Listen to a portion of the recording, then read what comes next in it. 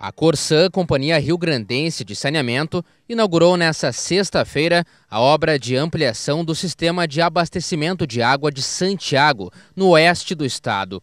Com investimento de 10 milhões de reais, foi ampliada a capacidade de tratamento de 70 litros para 200 litros por segundo, beneficiando quase 52 mil moradores do município pelos próximos 20 anos. A água, com certeza, é vida em primeiro lugar. Segundo, ela melhora a qualidade de vida da população. E assim como a Corsan tem feito isso, o que estava paralisado há um bom tempo, isso vai dar para o município as condições de que fique aí tranquilo em termos de abastecimento de água de qualidade.